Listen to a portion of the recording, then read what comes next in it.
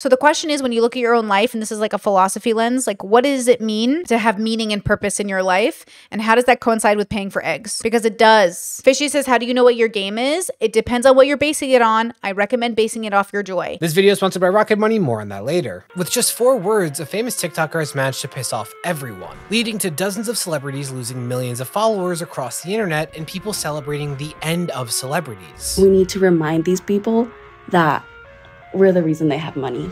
These celebrities have ascended into almost a godlike tier in society when they don't realize that we're the reason that they're famous in the first place. But why?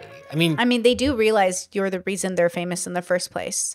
But do you realize they're famous because of you in the first place? Because as much as you're saying it, do you actually get it? Cancellations are usually pretty focused, so what happened? Well, this all centers around influencer Haley Kalil, aka Haley Bailey, attending the Haley Bailey, K Ray D. Thank you so much for joining memberships, girl. Welcome. Met Gala. Now, in short, the Met Gala is an annual fundraiser for the Met's fashion division where a bunch of rich and famous people have their photos taken so that their outfits can be made fun of in videos that get millions of views. All these leading lines, everything's just pointing to your crotch. Maybe that's what you wanted. Maybe Dua Lipa's proud of her crotch. It looks like she's a character in a movie where the characters went back in time and, Yeah. and ran into their mom. While Haley is a model who has amassed a huge following online, especially on TikTok. And while for the most part her content is known for being pretty safe and inoffensive, usually sticking to relatable humor or trends,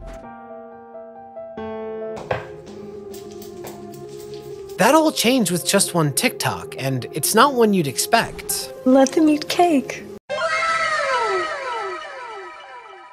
Please like the stream. When I get copyrighted, I lose revenue. Okay. I don't want to get monetized in all my videos because, well, sometimes there's music in it. Basically, that quote is the quote that people think of when talking about class inequality, because the last queen of France, Marie Antoinette, was believed to have made a similar comment when asked about the peasants starving in the midst of a famine. So while solving a food shortage is incredibly complex and requires a great deal of effort, this figure of royalty couldn't be bothered to do more than provide a single sentence that doesn't actually address the issue. Because, well, as an elite, why should she care about the suffering of so-called peasants? So okay, maybe that's a cringy quote coming from a TikToker, but influencers thinking too highly of themselves is nothing new, right? So why would that lead to outrage? Well, if you've paid bills in the last few years, you might get why. There's a growing sentiment from young people that the current state of things is atrocious, that if you're not in the top 1%, you are being made unable to have a reasonable quality of life. a college graduate is spending the same amount of their income on rent as the minimum wage worker in 1980 did. We are far more productive than Yeah. previous generations. We are more employed. Yeah. We are more educated than previous generations.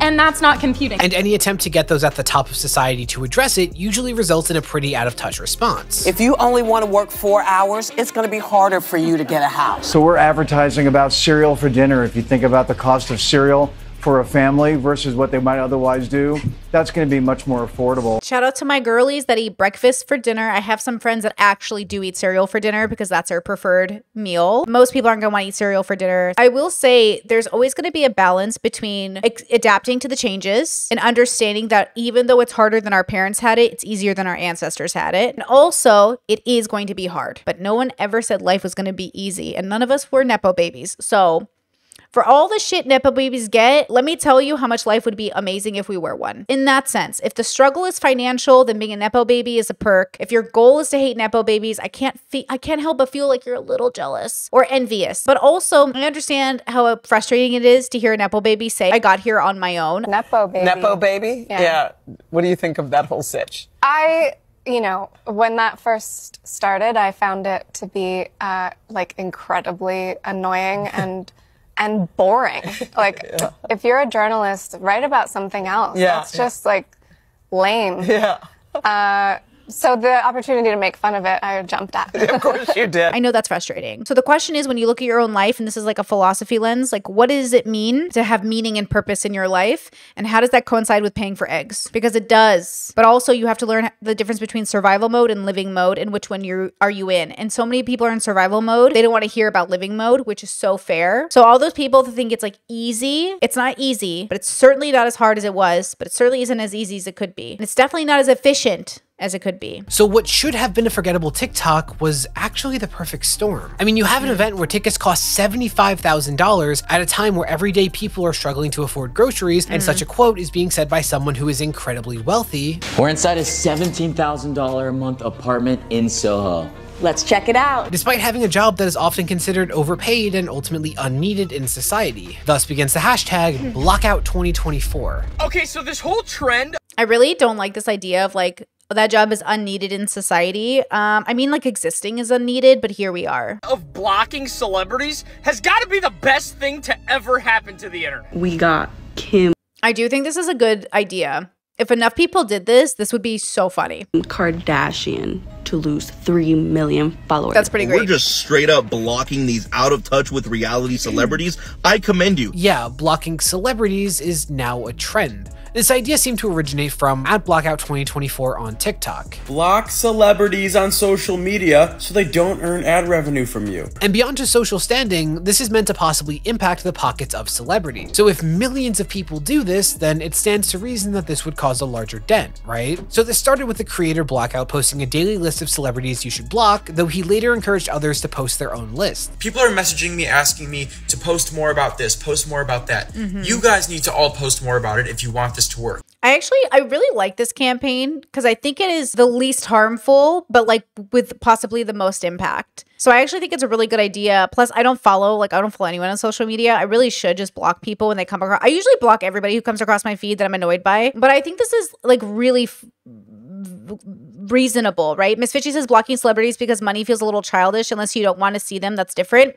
No, I actually think, okay, if you're doing a marketing campaign and you're saying, I want to change the state of how things work, then you do it with the least amount of harm. And this exhibits the least amount of harm, right? So we know harm is always like a part of activism. It's just like the reality of every, I mean, daily life is, you know, going to have harm. But I think in terms of little to no harm, but also with the biggest impact, it is social media stuff. So blocking people, not giving them the time of day. But of course, in the long run, the biggest impact is going to be understanding policy and impacting politics. And celebrities aren't politics, but celebrities feel good. So in some ways, it is childish because it's not really impacting the things you think it is impacting because there's always going to be new celebrities, but also it's about why you're doing it. So Leechin says the company I work for moved out of state and fired everyone by email last week. Gen Z's complaints about work are totally valid. It's not about validity, but it is about validity. So first, you're valid. Then, what do you do about it? You recognize the market that you're in. Remember, you are not living through the depression. You have got to compare yourself to at least you're not in this situation because genuinely, if you don't, you're not going to have any understanding of how bad it could get. So it's bad, but it's not as bad as it could get. And that is something that is so specific. And this really helps me. So maybe it's not a tool that helps you.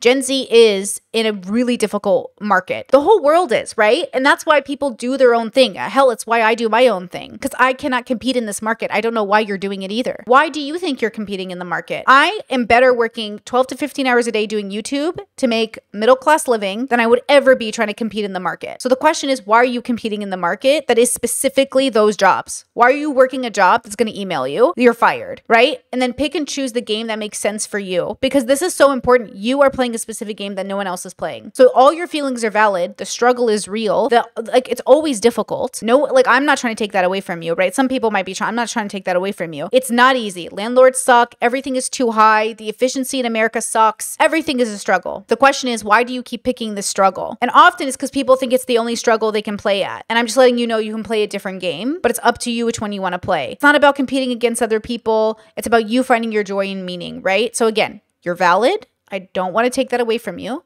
But also, why is this the game we're playing? Because that's what's so interesting. But then people pick what's comfortable. They pick what people tell them to pick. They play the game they think everyone is playing. I'm not playing that game. Fishy says, How do you know what your game is? It depends on what you're basing it on. I recommend basing it off your joy. Playing to your strengths. First of all, do you even know what your strengths are? Do you know what your strength is? Play to your strength. Play to what you know you can do and understand no matter how good your job is, it still has the word job in it. So the question is, even though it's going to be stressful, what's the stress you want to handle every day? Because life itself is stressful. So the question is, what stress do you want to handle every day? That's like what's the key here. Fishy says, Do you ever sometimes have to play a game you don't want to have to play?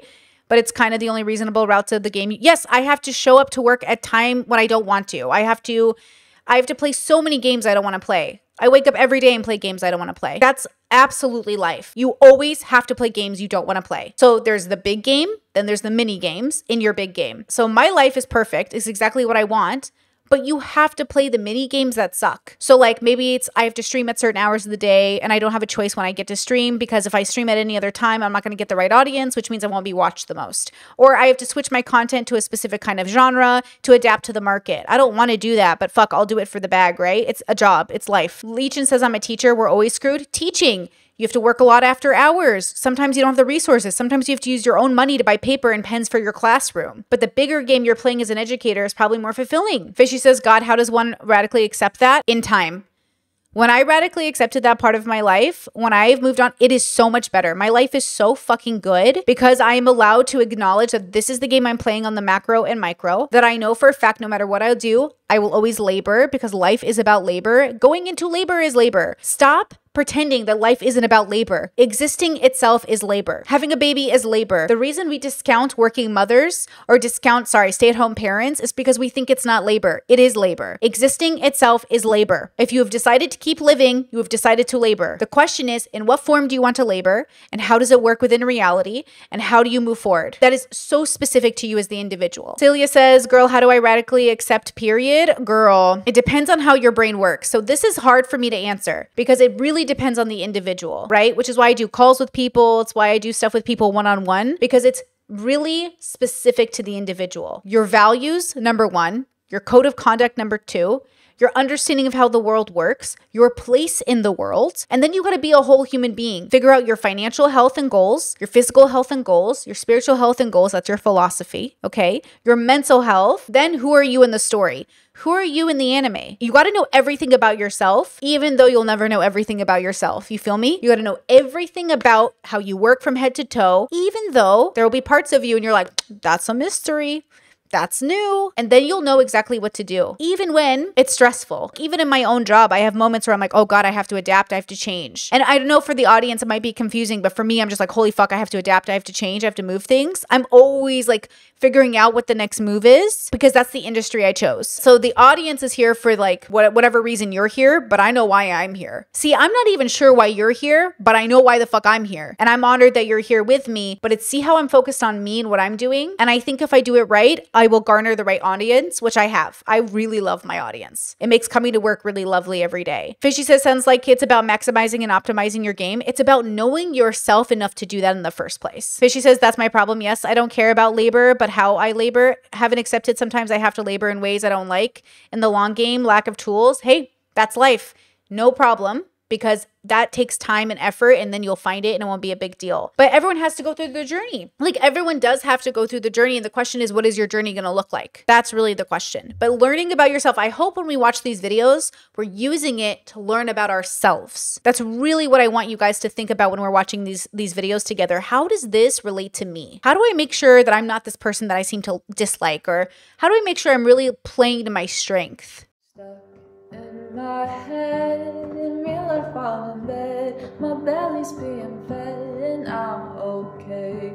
I'm just fine yet all I do is whine. Not to you in my mind cause I know I don't make sense. I've been nothing but blessed. So why's my life a mess? Please tell me cause I'm sick of thinking. Yeah sick of reaching out for the truth and living life as a fool.